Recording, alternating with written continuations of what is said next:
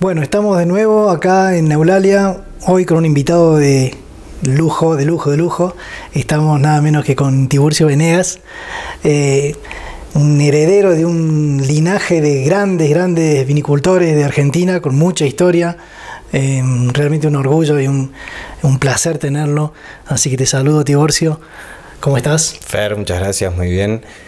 Sí, en realidad nosotros como bodega empezamos en el año 2000 con Bodega Venegas pero en realidad nuestra familia viene en esto desde 1880, más o menos, con mi tatarabuelo, que también es Tiburcio, Tiburcio Venegas. En realidad también yo soy Tiburcio por él, ¿no? Fue gobernador también. Fue gobernador, fue gobernador, sí.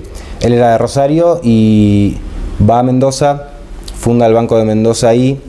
Eh, también fue gobernador, hizo el sistema hídrico de Mendoza, el comienzo del sistema hídrico con Chipoletti.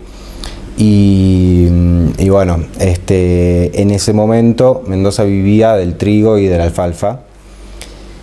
La alfalfa la usaban para alimentar a las vacas que venían a pie desde Chile y que llegaban nada, piel y hueso, no podían ser vendidas así y encima las tenían que cruzar hasta Chile porque eran para vender ahí.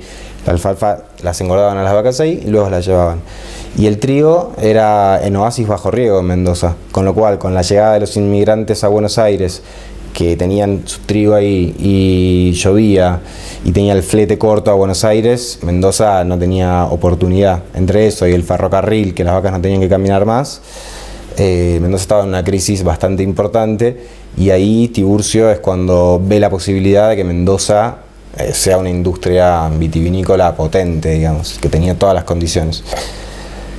Y bueno, él empieza a traer primero cepas de vino fino. Él fue el primero en traer cepas de vino fino en la Argentina, Cabernet Franc, Cabernet Sauvignon, Petit Verdot, Merlot. Malbec ya había, había un francés que tenía unas 20, 15 hectáreas de Malbec, pero no, no hacía industria de eso.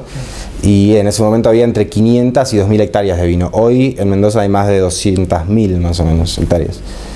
Y... Mm, y bueno, Tiburcio compra un lugar que era una vieja molienda. Este, en ese momento no había escrituras, necesitabas un testigo que te firme. El que le firma cuando compra ese lugar era Escorihuela Gascón, que a los años, a los pocos años, empieza con su bodega. Pero bueno, el tipo traía las estacas y eh, las regalaba a la gente, les explicaba cómo plantar y cómo proceder en el resto del proceso industrial. Traía gente de Europa. Incluso hizo un, manual, ¿verdad? Hizo, hizo un manual. Tan poco se sabía en ese momento que hizo un manual que eh, recomendaba separar las uvas tintas de las blancas en las plantaciones. así de poco se sabía. No, era, no era lo que, era, lo que es ahora. No, para nada, para nada. Esos fueron como los comienzos de la industria. Él otra persona en Chile y otro en California fueron como los tres pilares de la industria vitivinícola en toda América. Y Tiburcio funda Trapiche en ese momento. Cuando compra ese lugar, funda Trapiche ahí y todo lo que él empieza a hacer lo empieza a hacer alrededor de Trapiche. En ese momento Argentina tenía fundamentalmente producción de vino de mesa, salvo muy escasas excepciones. Y tanto Tiburcio como las dos siguientes generaciones, mi bisabuelo y mi abuelo, eh, impulsaron mucho el trabajo sobre la calidad de los vinos, ¿viste? Y la gente que tomaba por ahí mejores vinos en ese momento estaba en Buenos Aires y tenía en la cabeza que los vinos buenos eran europeos. Entonces costó mucho ese trabajo, ¿viste? De, que la gente entienda que y sepa y los pruebe y se dé cuenta de que los vinos argentinos también podían ser de calidad. Y bueno, aproximadamente en 1970, en el, último enólogo del Trapiche era mi abuelo, pero ya en ese momento la, compañía estaba dividida entre 40 primos, trabajaban cuatro y era complicado de sostener.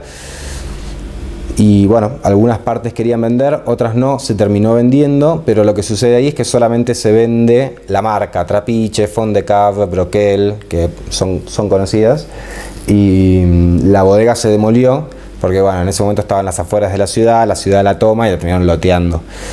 Y, los viñedos que fueron plantados por toda, desde Tiburcio hasta la época de mi abuelo, eh, entre 1899 y 1956, viñedos de 125, entre 125 y 70 años. este, nadie los quería en Mendoza porque tienen muy bajo rendimiento por hectárea y por ahí hoy se, Se piensa más claro. eso, en can- cantidad que calidad. Pero eh, al ser, digamos, Tiburcio, por ejemplo, trajo muchos, muchas estacas que eran pre-filoxera, antes de que la, de que la filoxera mate la mayoría de los viñedos. Y eso, esos viñedos los vienen a buscar hoy, de- incluso de Francia. Este, y además, al ser prefiloxera, viste que no es la planta, las raíces americanas con el injerto de la planta europea. Bueno, hay algunos estudios que dicen que las plantas originales, digamos, tienen como si te dijese un entre un 30 y un 35% más de la expresión del varietal de, de la cepa de la planta. Claro. Y mm, esos son los viñedos que recuperamos nosotros 20 años después.